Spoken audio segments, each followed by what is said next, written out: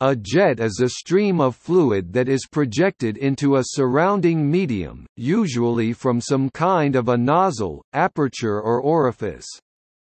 Jets can travel long distances without dissipating.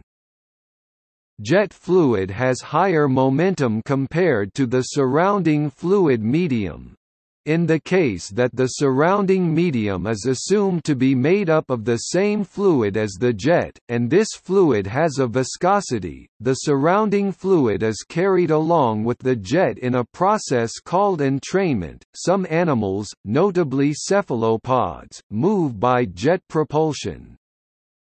Jets are produced by both rocket engines and jet engines.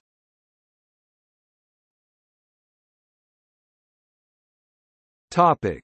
See also. Plane counterflow jets.